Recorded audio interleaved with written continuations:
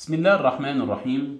أعزائي الطلبة السلام عليكم ورحمة الله وبركاته. إن شاء الله النهاردة في كورس ال foundations engineering 2 هنتكلم على تصميم ال retaining wall إحنا خدنا المرة اللي فاتت أو الأجزاء السابقة تعرضنا للأحمال اللي هي معرضة ليها ال retaining wall لكن إزاي نصمم بقى ال retaining wall ال retaining wall كإيه؟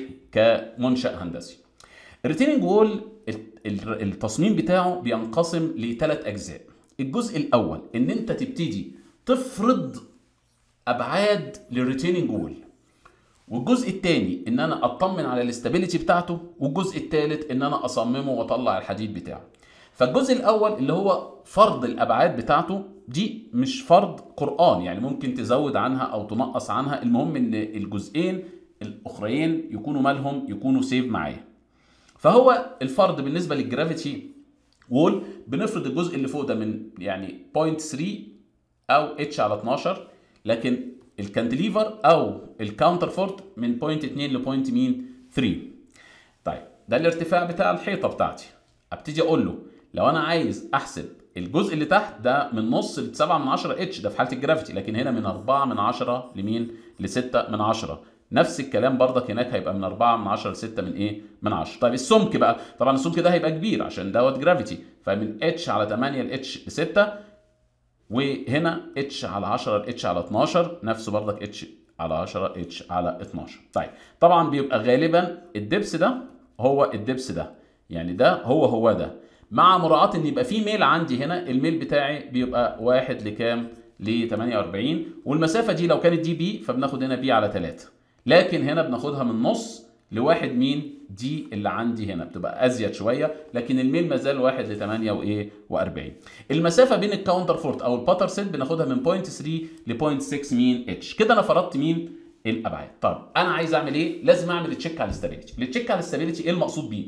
إن أنا check على ال overturning و check على ال sliding check على ال bearing capacity وال shallow shear إيه failure وال deep shear failure أول حاجة هنتكلم فيها اللي هي ال overturning يعني إيه over يعني انقلاب. يعني إيه انقلاب؟ يعني أنا عندي الحيطة بالشكل ده. نتيجة الأحمال اللي جاية من ال soil هنا تبتدي تلف حوالين النقطة ديت بالشكل اللي أنت شايفه دوت فالمفروض إن أنا مصمم ال retaining wall دوت مش على أساس إن هو تحصل له انقلاب. فلازم نطمن عليه. نطمن عليه إزاي؟ إن إحنا أول حاجة نجيب إيه ال force اللي بتسبب الانقلاب؟ سهلة جدا. لو انت عندك هنا surcharge فبيبقى عندي هنا earth pressure هنا و earth pressure هنا. الاثنين دولت بيعملوا moment حوالين النقطة ديت. ده في المسافة بتاعته وده في المسافة بتاعته. يبقى تقدر تجيب ال M مين overturning بتاعك. طيب السؤال بقى مين اللي بيقاوم الحاجات ديت؟ أو إيه الأحمال اللي بتقاومها؟ الوزن بتاعي وزن التراب اللي هنا. مع ملاحظة إن أنت ما تحطش هنا عليها ال surcharge. ال surcharge حطه هنا اهو بعيد عنه هنا اهو يبقى أنا عندي وزن التراب اللي هنا وعندي وزن ده وعندي وزن ده وعندي وزن ده أو ممكن تروح مقسمها كده وتاخد وزن ده تضربه في المسافة مع الوزن ده. بالإضافة لوزن مين كمان؟ وزن الإيه؟ شوية التراب اللي هنا. بس أنت لو خدت وزن التراب اللي هنا وطبعا ده كله بتاخد ال moment حوالين النقطة دي لو خدت الوزن ده لازم تكتب في الملاحظات انه يتم أو يجب ردم مين أمام الحائط قبل الإيه؟ الخلف عشان أنا خدته معايا في التأثير. خلاص يبقى أنا أقدر أطلع ال M مين؟ ال M resistance أو ال M restoring خلاص إيه القصة؟ ال factor of بتاعك هتبقى ال restoring moment بتاعي على ال overturning لازم ده يكون ماله أكبر من أو يساوي مين؟ 3 لو 3 طلع 3 ونص مفيش مشكلة safe. طب لو أصغر يبقى ال dimensions اللي إحنا اخترناها unsafe لازم أبتدي أغيرها أو أزودها. كده خلصنا ال check بتاع ال overturning والمرة الجاية هنتكلم على ال sliding